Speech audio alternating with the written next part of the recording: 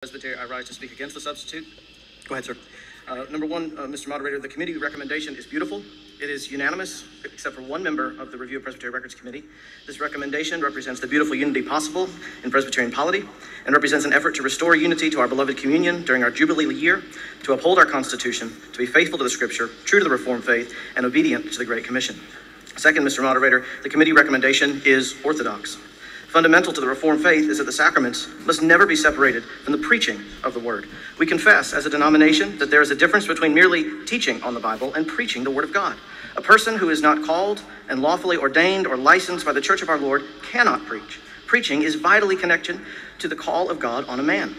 We confess as the PCA that God chooses to use the reading, but especially the preaching of the word as an effectual means of convincing and converting sinners and of building them up in holiness and comfort through faith unto salvation. And this report tells us of a session in the PCA that deprived the congregation of that vital means of grace. How can we be faithful to the Great Commission if the word of God is not preached in the worship of every church? Third, this recommendation is pastoral.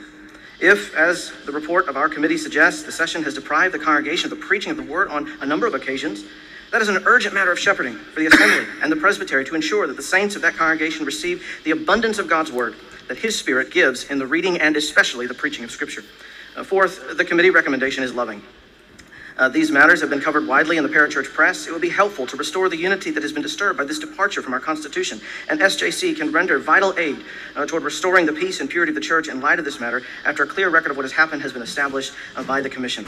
And so, Mr. Moderator, I urge the Assembly to vote down the substitute and vote for the committee recommendation. This is the way, Mr. Moderator. Thank you. Thank you, sir. Just as a reminder,